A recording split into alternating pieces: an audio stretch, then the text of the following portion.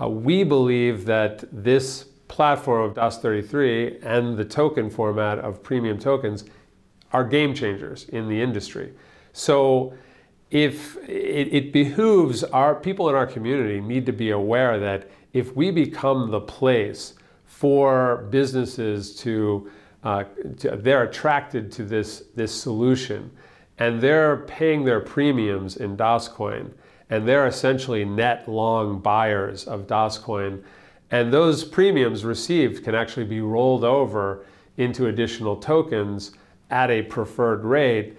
These are dynamics that are going to lead to a, a lot of activity on our network. And, and that is going to lead to, uh, it has a high likelihood of leading to price appreciation.